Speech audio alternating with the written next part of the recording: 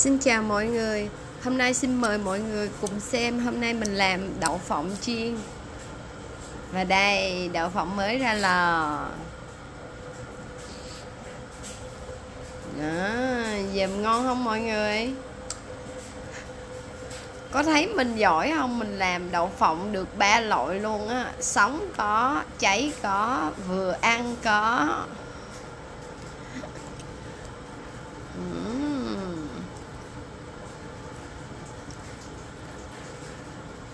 Có tô này thì vừa ăn. Dơm hấp dẫn không mọi người? Mani mani mại vô mại vô.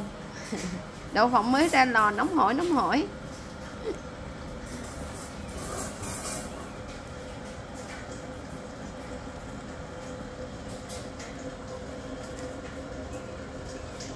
Cái rổ này thì nó hơi sống.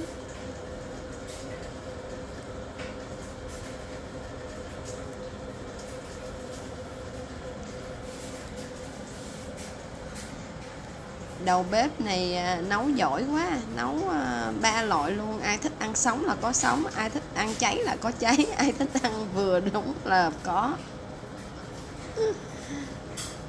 Tại vì mình mà, chín người 10 ý mà, cho nên mình phải nấu ra ba loại khác nhau. Thấy mình giỏi không?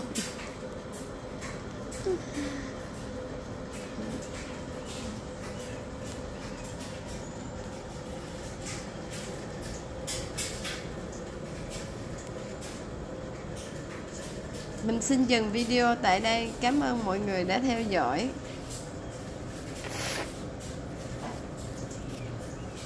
Xin chào.